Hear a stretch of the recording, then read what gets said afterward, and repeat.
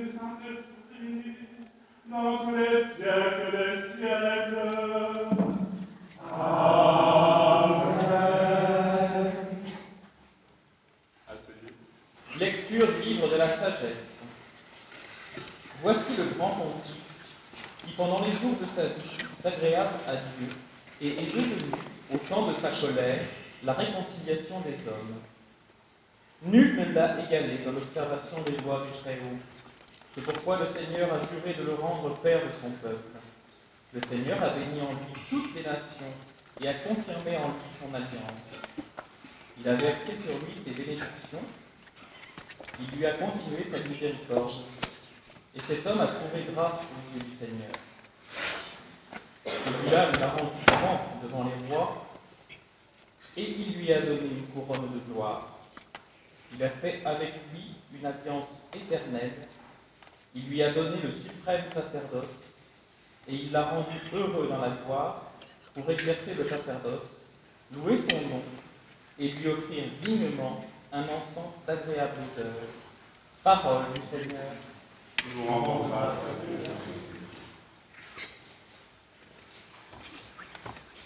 Dieu s'exprime. Alléluia.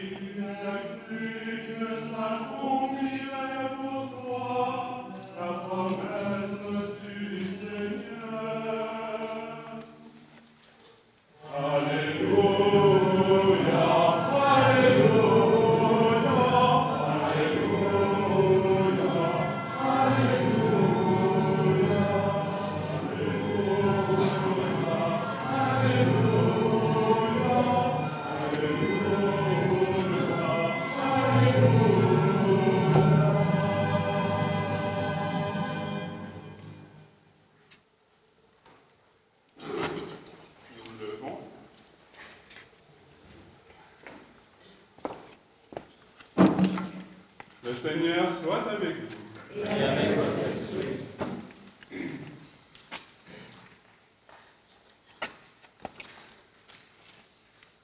Lecture du Saint Évangile selon Saint Matthieu. Gloire à toi, Seigneur Jésus. En ce temps-là, Jésus dit à ses disciples cette parabole.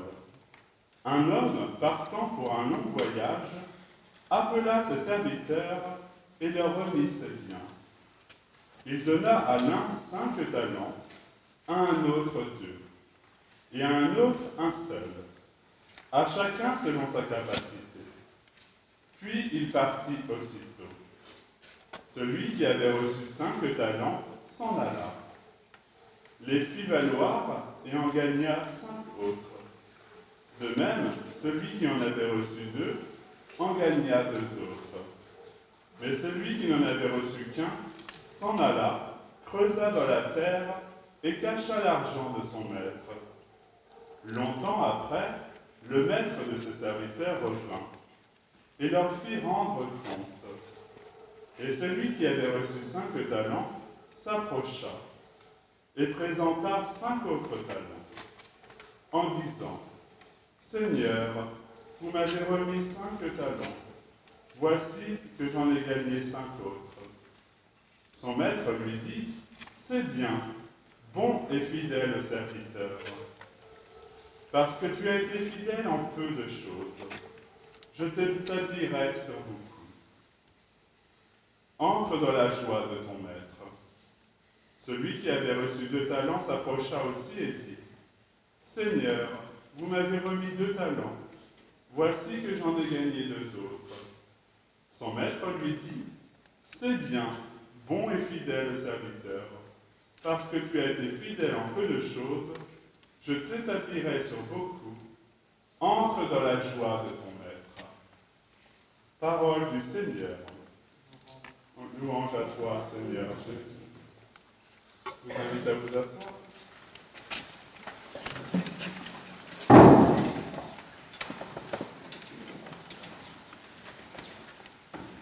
Au nom du Père, du Fils et du Saint-Esprit, Amen. Bien chers amis, comment ne pas évoquer en ce jour la figure paternelle et bienveillante du Saint que nous célébrons? La légende de Saint Hubert, dont nous allons parler, rapporte des faits extraordinaires. La légende, dans le langage chrétien, n'est pas un récit relevant de la fable et donc de la fabulation, mais bel et bien un récit historique qui nous rapporte la tradition et auquel nous devons croire avec ferveur. Car la, tradition de tout ce qui a été cru toujours par tous et partout est un lieu où on peut rencontrer la révélation de Dieu par Jésus-Christ. Vous aimez cette belle tradition de la Saint-Hubert et nous, aussi, et espérons voir cette célébration que nous inaugurons ici renouvelée chaque année.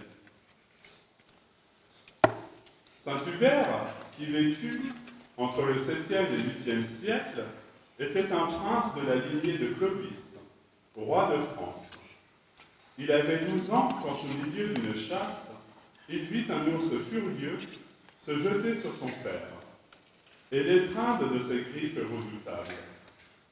À ce spectacle, il poussa un cri vers le ciel. Mon Dieu, faites que je sauve mon père.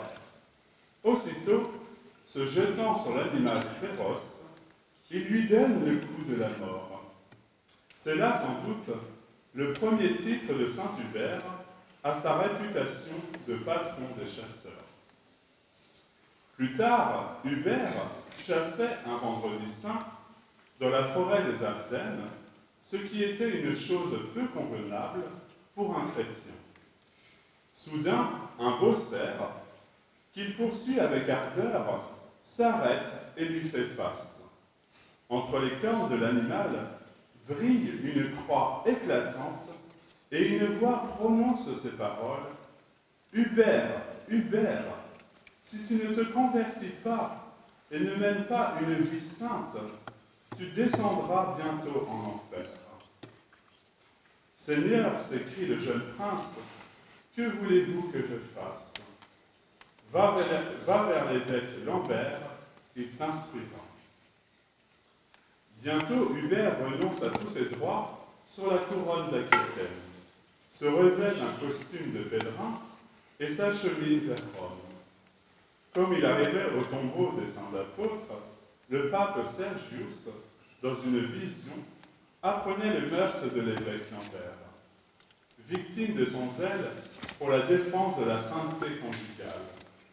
Et il recevait l'ordre d'envoyer à sa place le pèlerin qui arrivait en ce moment pour prier à la basilique de Saint-Pierre. Le pontife, en effet, trouva l'Indre pèlerin, lui fit connaître les ordres du ciel, et Hubert, malgré sa frayeur et ses larmes, dut se soumettre à la volonté de Dieu.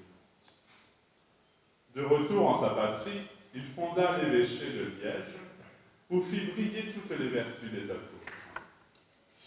Sa douce et persuasive éloquence captivait les foules. Il parlait quelquefois trois heures consécutive, sans qu'on se lassât de l'entendre. À la puissance de la parole, il joignait celle des miracles. À sa prière, les démons abandonnaient le corps des possédés, les flammes de l'incendie s'éteignaient, la sécheresse désastreuse cessait tout à coup pour céder la place à une pluie féconde. Le Dieu d'Élie est le nôtre, disait-il. Implorons-le dans la prière et le jeûne. La miséricorde fera le reste. Une voix céleste lui dit un jour, Hubert, dans un mois tes liens seront brisés. Il se prépara pieusement à la mort, et après avoir chanté le credo et récité le pater, il rendait son âme à Dieu. Ce bel épisode de la vie de Saint Hubert nous rejoint tous, chasseurs ou non. Nous avons tous cette tentation d'user de notre temps pour beaucoup de choses, jusqu'à parfois en oublier notre âme, jusqu'à parfois en oublier notre propre terre, jusqu'à parfois oublier notre éternité. La chasse, la chasse est une belle passion qui vous permet de vous retrouver au cœur de cette nature enchanteresse de notre beau Poitou, saisi quelques instants par la beauté de la nature. La chasse, elle vous permet de pénétrer le règne animal en étant saisi tout simplement par la vie. La chasse vous conduit à avoir avec vos chiens une belle complicité, source d'une chasse réussie. Tout ceci doit vous permettre de reconnaître dans la contemplation de la nature la bonté même de Dieu, qui ne peut se réduire à ce grand horloger de Voltaire, mais qui est ce Dieu d'amour, qui par-delà la nature nous a surtout donné son Fils, Jésus-Christ, qui nous ouvre les portes de l'éternité. Ainsi, soyez chasseurs, soyez de bons chasseurs, mais n'oubliez pas que ce vers quoi est invité à courir tout homme, c'est Dieu lui-même. Soyez de bons chasseurs, mais ne chassez pas Dieu de votre vie. Nous sommes aujourd'hui heureux et honorés de célébrer avec vous cette année le Père Mathieu du Sacré-Cœur, ici présent, et moi-même, le Père Louis du Christ Roi, du prieuré Notre-Dame de Lourdes, nos cinq ans de sacerdoce. Cinq ans que nous sommes prêtres. Cinq belles années où nous avons toujours cherché le Seigneur, non seulement dans la prière et la célébration des sacrements, tant de messes offertes, de baptême, de mariage, mais aussi de funérailles. Nous sommes heureux de pouvoir accompagner les fidèles par l'écoute, la gentillesse, et nous l'espérons par un visage qui ne ressemble pas à un cornichon baigné de vinaigre dont vous faites vos casse-croûtes. Nous souhaitons ne jamais clapoter dans le fiel qui aigrit l'âme et le cœur. Dieu nous prendra peut-être demain ou dans 40 ans, mais nous continuerons jusqu'à la fin, car il n'y a pas de plus beau sacrifice que de donner sa vie pour ses amis. Pour finir, nous vous invitons à vous rendre à Saint-Rémy. Nous inaugurons la semaine prochaine à 18h la crèche. Et si vous êtes dans le secteur le soir de Noël, nous célébrons une belle et traditionnelle messe de la nuit de Noël à 20h, précédée d'une petite veillée à 19h30. Que Dieu et Saint Hubert vous bénissent belle et bonne chasse. Au nom du Père, du Fils et du Saint-Esprit. Amen.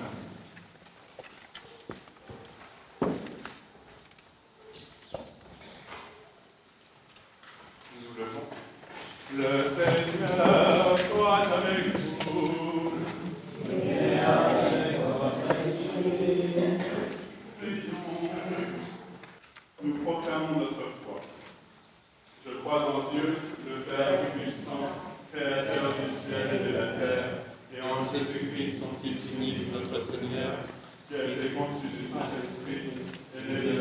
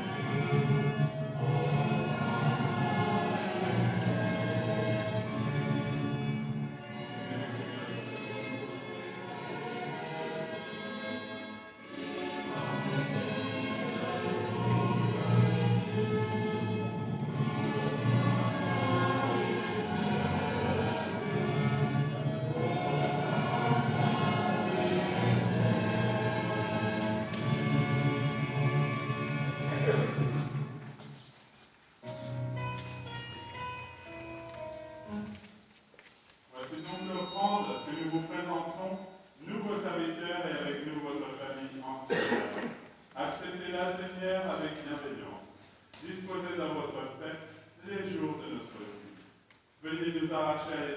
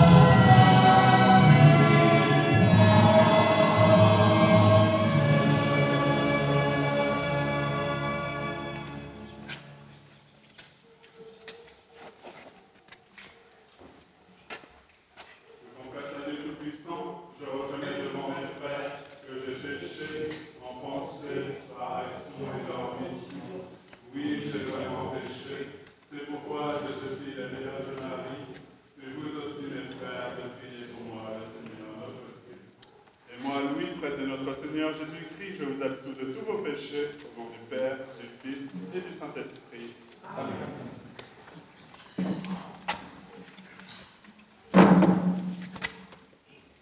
Heureux les invités au repas du Seigneur, voici l'agneau de Dieu, voici celui qui enlève le péché de tous. Seigneur, je ne suis pas digne de te recevoir, mais dis seulement une parole et je serai guéri. Que le corps de notre Seigneur Jésus-Christ garde votre âme pour la vie éternelle. Amen. Si vous souhaitez communier, vous pouvez vous approcher. On va prendre le chant, voici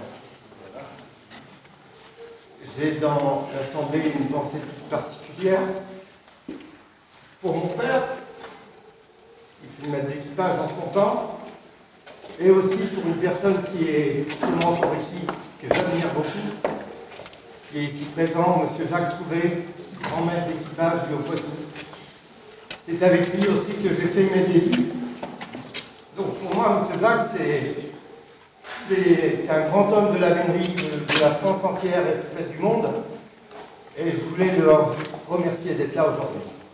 Je vous remercie sincèrement, M. Jacques Létry. Et tout ce que vous faites, eh bien, écoutez, euh, c'est notre première euh, grande Saint-Hubert, qui j'espère ne sera pas la dernière.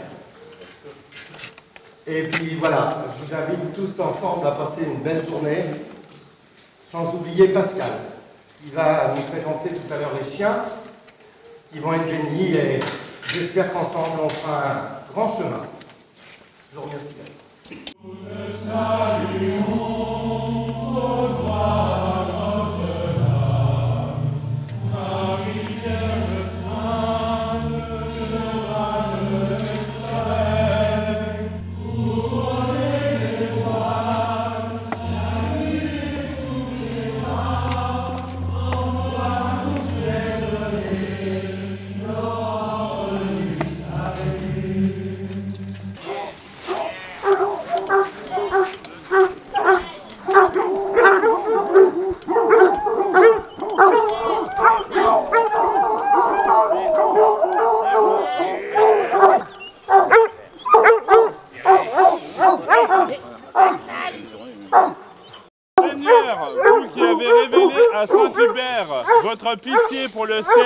Poursuivait, vous qui avez inspiré à Saint François tant de phrases touchantes pour nos humbles frères du monde animal, aidez-nous à comprendre votre volonté en ce qui concerne la présence de l'animal sur la terre, et comme nous avons besoin de la protection des anges, que nous vous soyons à notre tour le protecteur des êtres vivants que vous avez créés. Amen. Salut, honneur des confesseurs. Salut, concitoyens des anges. Donnez-nous l'allégresse du temps, qu'elle devienne l'allégresse éternelle, par votre prière bienvenue de Dieu. Sauvez les saints, guérissez les malades. Le Seigneur a conduit le juste par des voies droites et lui a montré le royaume de Dieu. Prions. Seigneur, soyez propice à, notre prière. Puissent vos serviteurs, en considération des glorieux mérites de votre confesseur et pontife Saint-Hubert, obtenir par sa pieuse intercession d'être toujours préservés de tout mal. Par Jésus-Christ, votre Fils, notre Seigneur, qui vit et règne avec vous dans l'unité du Saint-Esprit, dans tous les siècles des siècles.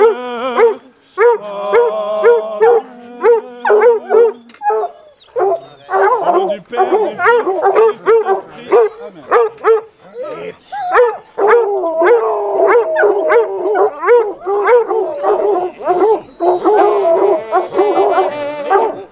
Allez